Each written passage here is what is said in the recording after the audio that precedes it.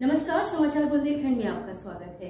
मैं हूँ जॉली। आइए नज़र डालते हैं झांसी की खास खबरों पर। झांसी के मऊरानीपुर कोतवाली क्षेत्र के अंतर्गत आने वाले कस्बा रानीपुर में चौकी प्रभारी के ऊपर रानीपुर नगर पंचायत के मनोनीत पार्षद चंद्रभान कुशवाहा द्वारा डीआईजी को प्रार्थना पत्र देकर रानीपुर चौकी प्रभारी द्वारा मारपीट करने का आरोप लगाया गया है।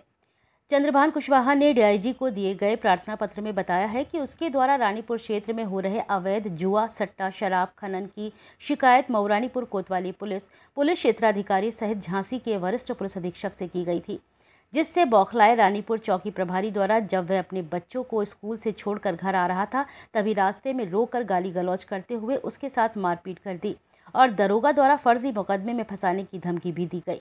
तो वहीं मनोनीत पार्षद ने अपने हुए अपमान को लेकर आत्महत्या करने तक की चेतावनी दी है। इसके साथ ही उत्तर प्रदेश के मुख्यमंत्री से गुहार लगाई है कि ऐसे भ्रष्ट पुलिस के दरोगा पर कड़ी कार्रवाई की जाए। मऊरानीपुर से शिवम सिंह की रिपोर्ट।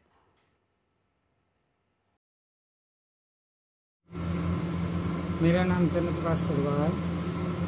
आज जो मेरे साथ घटना हुई है, वो कल जो रानीपुर चौकी इंचार्ज हैं अजीत शर्मा।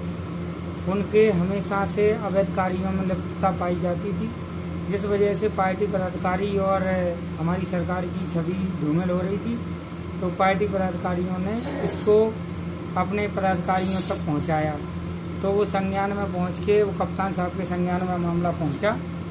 तो उसी से नाराज़ होकर आज जब मैं अपने बच्चों को स्कूल छोड़ के आ रहा था तो वहाँ चौकी के सामने दो तीन लोग खड़े हुए थे तो मैं वहाँ खुद थोड़ी देर के लिए खड़ा हो गया।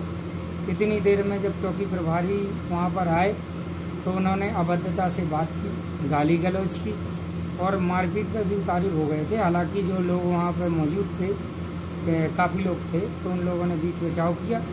हम अपने घर आ गए। जब हमने इसकी जानकारी ऊपर उच्च अधिकारियों को दी तो हमारी कोई सुनवाई नहीं हुई। इसके बाद हमने एक लेटर लिख करके डीजीपी महोदय, उत्तर प्रदेश शासन मुख्यमंत्री महोदय और, उत्तर प्रदेश पुलिस और माननीय सांसद महोदय को टैग करके जब हमने ट्वीट किया तो उसके बाद, हमारे पास कई लोगों के फ़ोन आए, जिसमें कुछ पुलिस वाले और कुछ, नेतागण और कुछ मतलब सामाजिक बंधु भी थे, उन लोगों के फ़ोन आए कि एक काम करो और दरोगा जी इस बात के लिए बहुत ही शर्मिंदा है वो माफ़ी मांगने के लिए तैयार हैं। तो मैंने कहा, ऐसे नहीं। यहाँ पर जो अवैध शराब, अवैध खनन, अवैध जुआ, ये सट्टा बाजारी, ये सब कुछ जो कुछ हो रहा है, वो क्षेत्र में हम लोग होने नहीं देंगे, क्योंकि जो सरकार की मंशा है, उसी के अनुरूप कार्य होंगे।